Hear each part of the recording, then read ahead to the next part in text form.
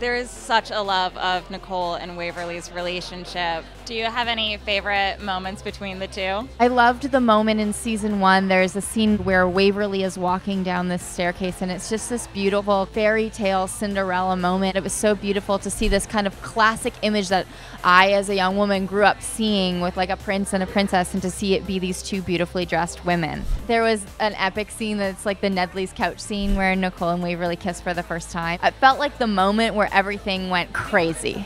Like that was the moment that changed everything. That moment really sealed the deal.